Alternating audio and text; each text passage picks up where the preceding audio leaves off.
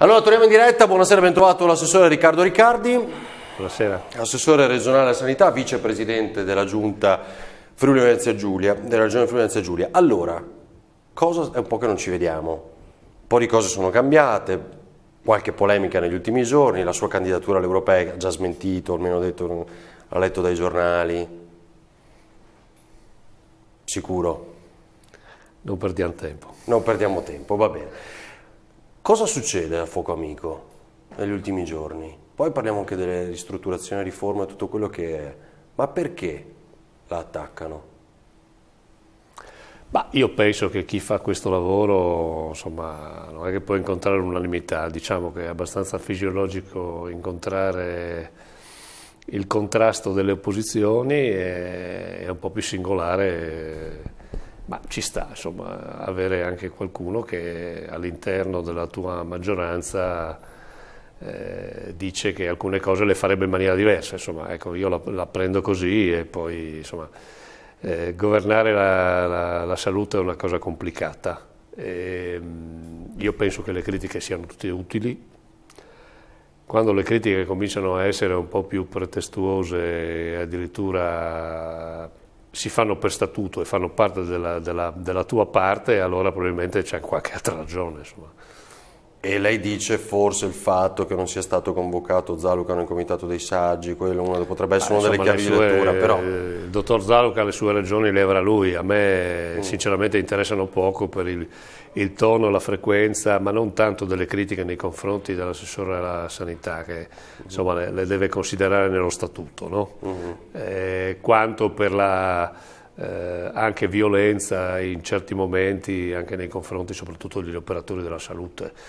Eh, questa è la cosa che mi, più mi, mi, mi addolora perché non, non, se lo meritano, io li vedo eh, lavorare con determinazione questi ragazzi, eh, con le difficoltà di questo lavoro, eh, la complessità di quel sistema che io da questi studi credo di avere criticato in maniera eh, puntuale, oggi mi ritrovo con quelle cose riconfermando sostanzialmente le idee che sostenevo in quel tempo, che non hanno mai messo in discussione l'esistenza di un numero unico, ma mettevano in, in discussione come era stato eh, organizzato, come era stato creato e oggi stiamo intervenendo proprio su questo. Ecco, adesso arriviamo al numero unico, perché guardi che è sempre quello che ovviamente ci chiedono anche da casa. Eh, con Bini vi siete chiariti, vi siete parlati in giunta, avete avuto occasione? No, io Bini non ho avuto modo di vederlo, lo, lo vedrò cosa in dirà? giunta domani. Ma no, ma io non ho niente da dire, cosa devo dire, insomma. Sono abbastanza, diciamo, posso dire un po' in maniera presuntuosa, esperto per capire come funzionano queste cose probabilmente quando hai delle tensioni a casa tua cerchi di, insomma, di, metterle a posto guardando ad altri, facendo capire in casa tua che cosa non va. Cioè io alle discussioni in casa sua è progetto FVG il, il o problema, è l'assessorato alle attività brutte? No, beh, insomma, quando un partito legittimamente dice facciamo una verifica sulla sanità eh, perché dobbiamo capire come va la riforma, la riforma è partita da due mesi e vuoi fare una verifica, eh, siccome qui nessuno è nato ieri, e, insomma, capisci che insomma, le ragioni sono altre.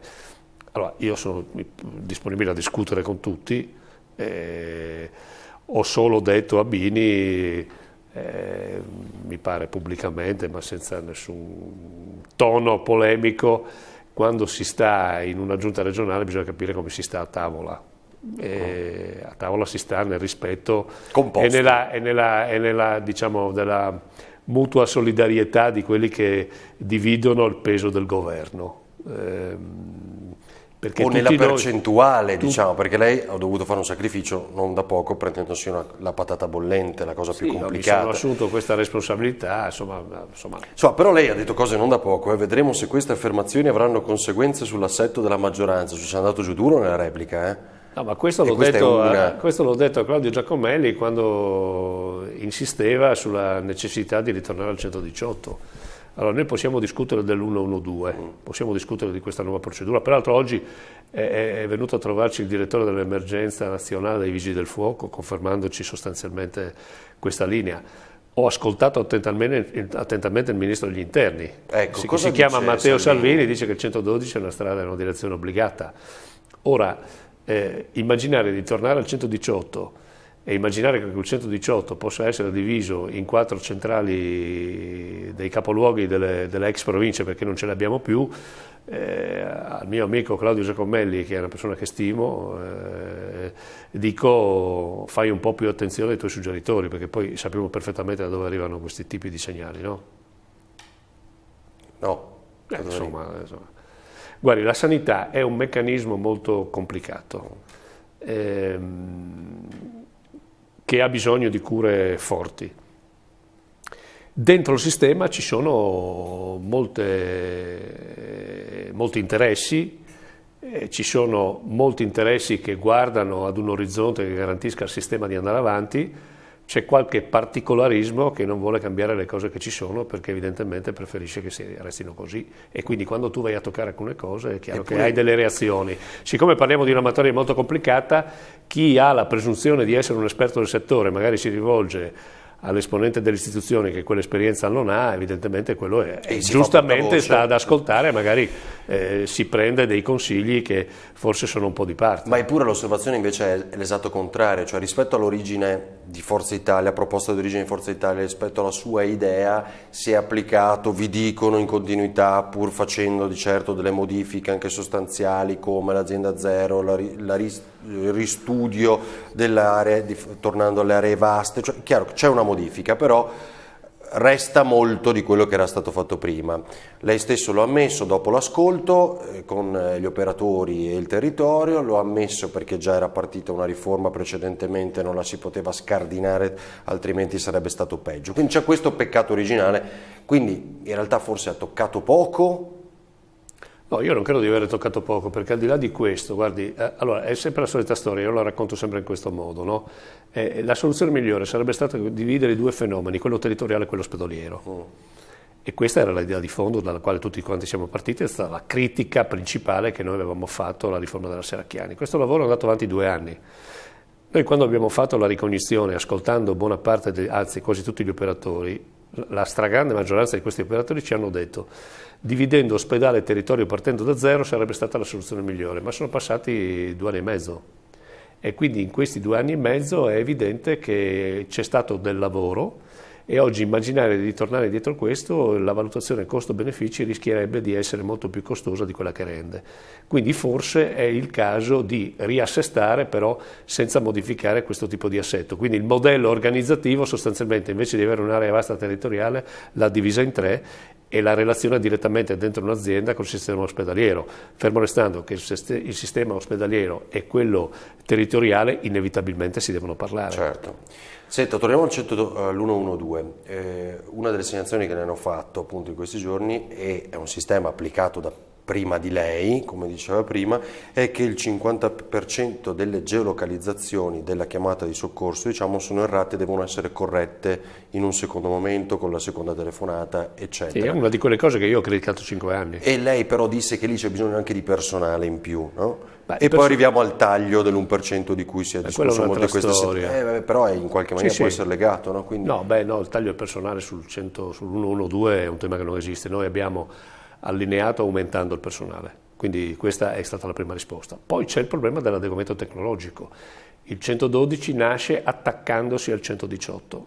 Il 112 doveva nascere senza attaccarsi a nulla e quando tu ti attacchi una nuova tecnologia a una vecchia tecnologia trovi i limiti che oggi ci determinano questa condizione della geolocalizzazione che per il 50% trova delle difficoltà. Cosa intende per attaccandosi al 118? Vuol dire che tu hai un sistema al quale ne attacchi un altro, mm. quindi hai una tecnologia che funziona, la quale è una sì, sorta di ampliamento del numero dei piani di una casa. Mm-hmm. No?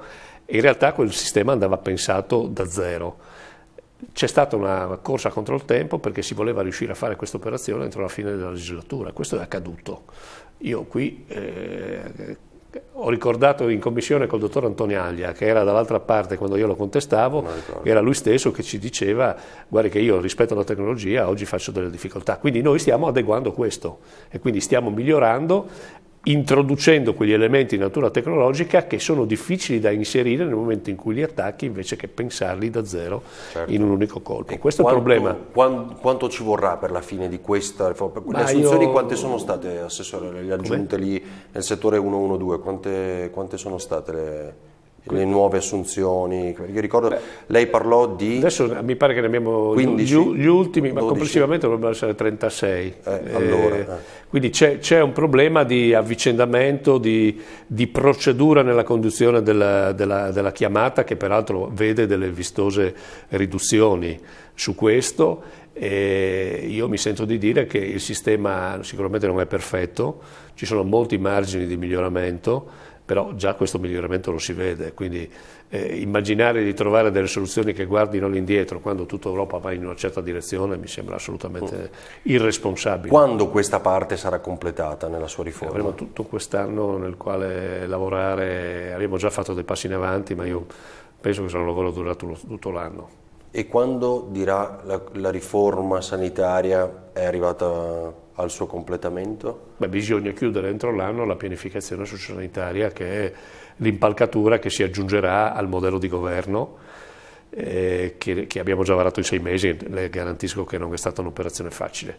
Io mi auguro di trovare senso di responsabilità al di là di quelle che possono essere le singole opinioni, che possono anche essere diverse. Guardi, noi abbiamo un grande problema nella sanità di questo Paese, che se noi non facciamo le scelte che dobbiamo fare, che potrebbero apparire anche scelte dure, quindi a volte anche impopolari, il sistema rispetto alla tenuta dei costi non, riesce a tenere, quindi noi negli anni, se non prenderemo quelle decisioni che negli ultimi 25 anni in questa regione non sono state assunte o sono state assunte male, noi metteremo a rischio la qualità e la garanzia della salute a tutta la nostra Mi gente. fa un esempio di queste scelte?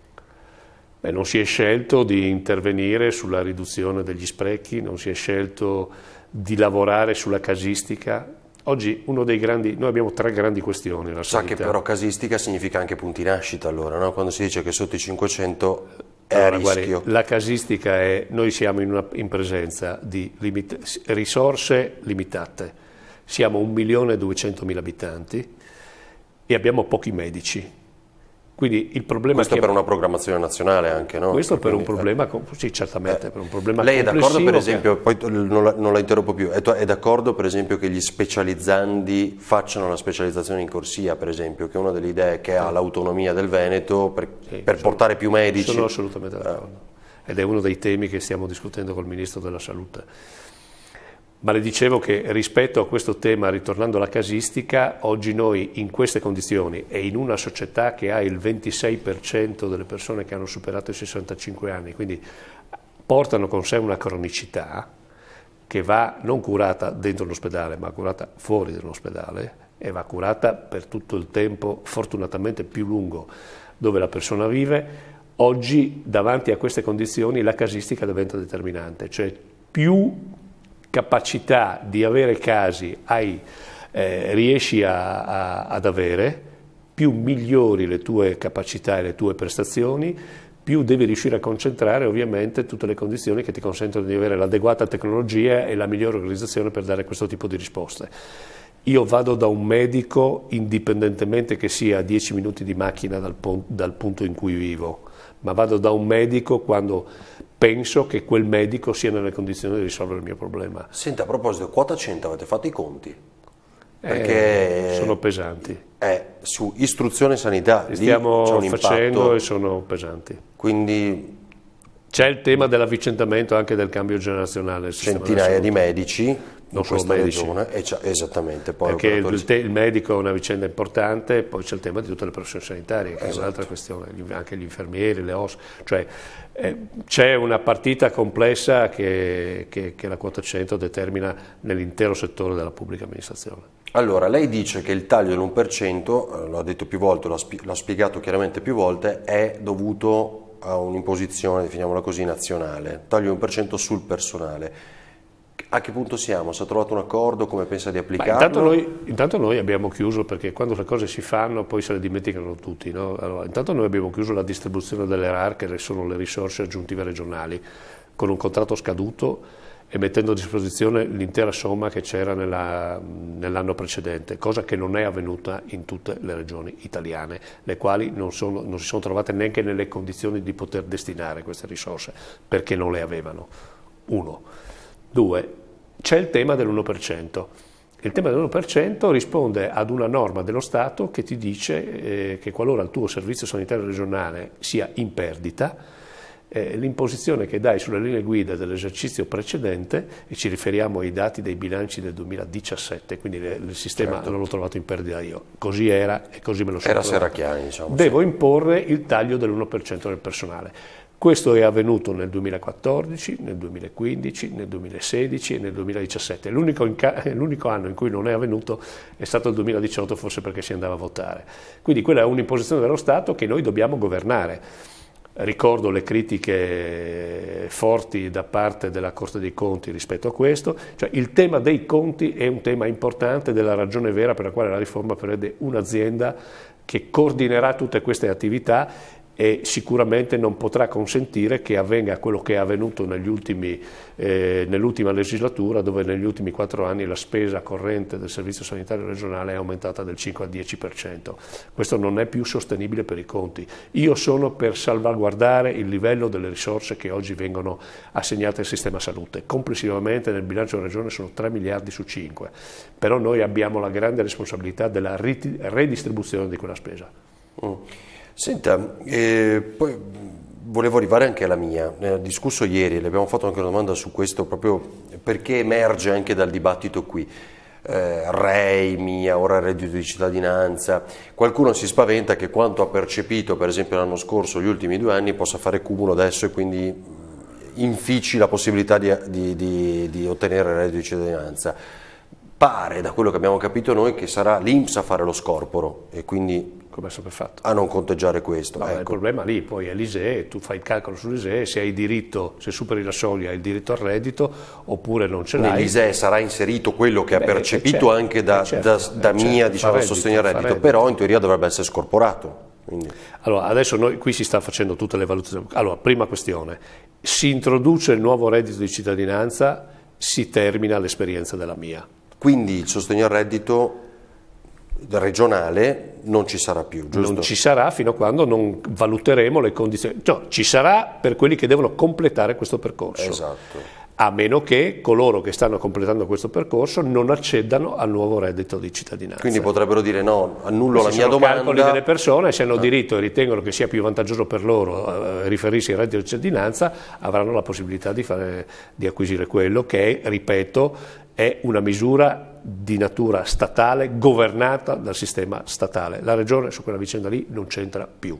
La Regione potrà centrare una volta che deciderà se varare una misura che si aggiungerà a quella del reddito di cittadinanza.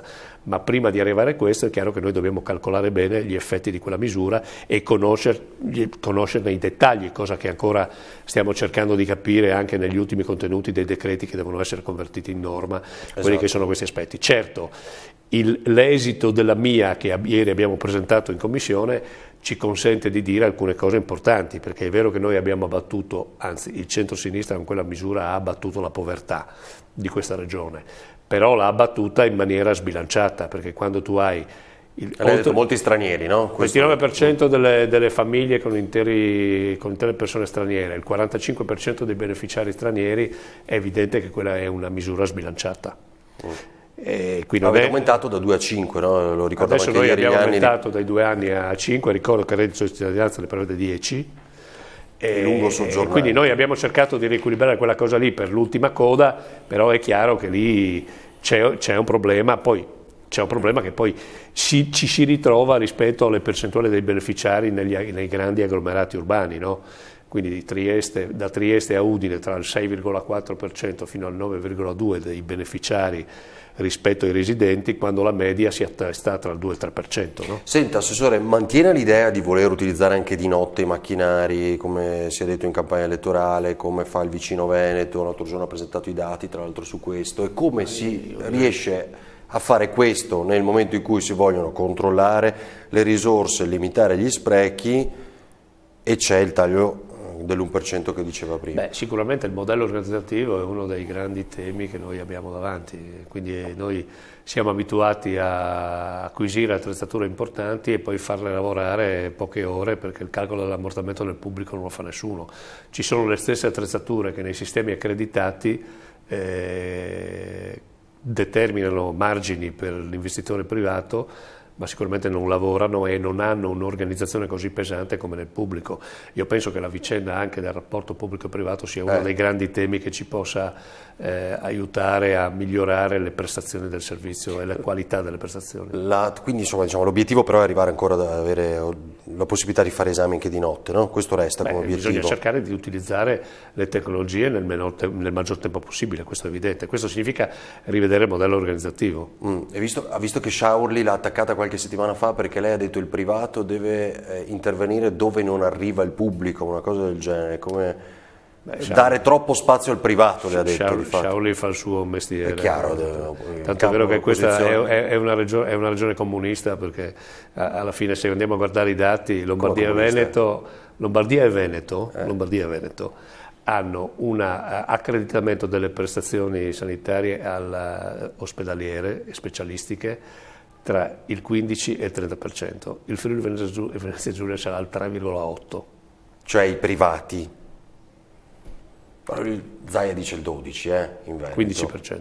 15. Lombardia, Lombardia 30 e, e, ricordo, Veneto e Lombardia sono i migliori servizi sanitari regionali di questo paese. Quindi lei dice il privato è per il miglioramento ulteriore del Io dico che con l'equilibrio, l'equilibrio e il buonsenso, una forte capacità di controllo del pubblico dove non si scherza cioè le, se io accredito delle prestazioni, quelle prestazioni devono essere controllate, devono garantire il sistema di sicurezza e il pubblico lo deve fare.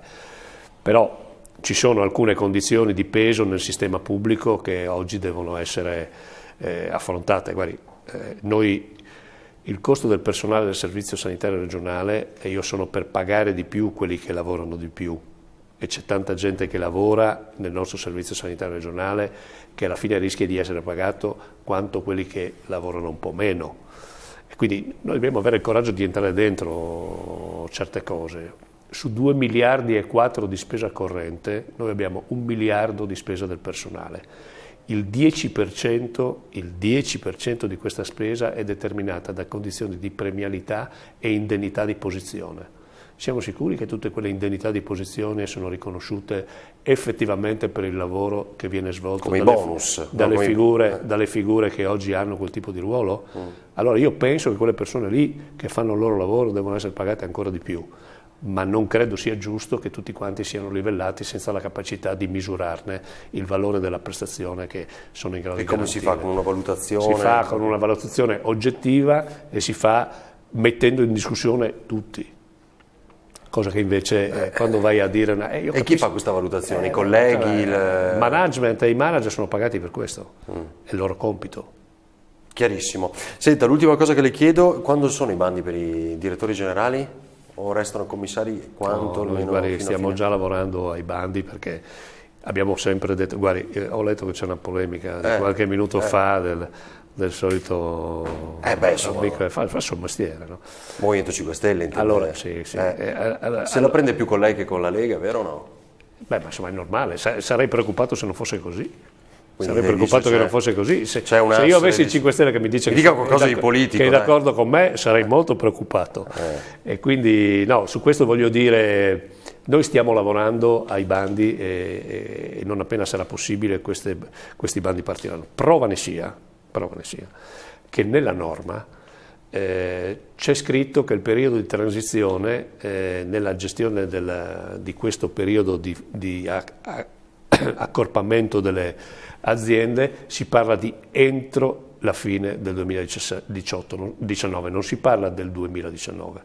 Quindi quando dico entro, già entro nella, quest'anno già nella, norma, mm. già nella norma c'era lo spirito che questo periodo di transizione potesse essere il più breve possibile. Che è un'altra cosa che dice, credo, Ussai, appunto, che lei citava poco fa, è che i direttori generali, i commissari sono più o meno gli stessi volti che c'erano anche in precedenza con la giunta Seracchiani. Beh, guardi, Quindi c'è una il dottor Marco Longo aveva un contratto e bisognava, eh, i contratti si rispettano eh, perché altrimenti poi nasce qualche contenzioso. Il dottor Poggiana ha incontrato un consenso importante del sistema territoriale dove ha lavorato, il dottor Tonuti eh, stava in direzione, non stava in un'azienda, eh, il dottor Dolbolò che al Burlo stava in direzione, non stava in un'azienda, quindi non mi pare che tutti questi volti eh, che c'erano prima sono ancora lì. Poi c'è il tema del, del, commissario che è un periodo limitato, adesso vedremo, faremo i bandi e vedremo le professionalità che riusciremo a conquistare per questo sistema. Io sono preoccupato di questo, ma sono preoccupato altri, di altre due cose che secondo me sono i pilastri veri sui quali noi riusciremo a vincere la sfida o meno eh, di, questa, di questa partita. Il primo è eh, una forte accelerazione del sistema informativo.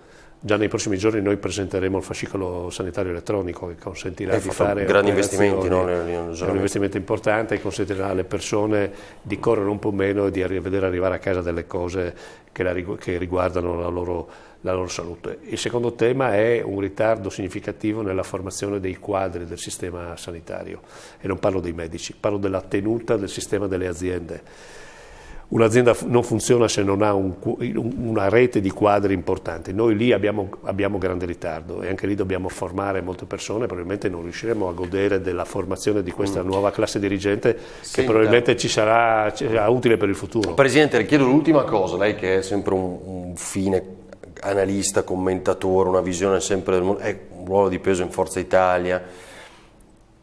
Eh, come la vede questa cosa della Cina? Noi ne abbiamo parlato anche questa sera.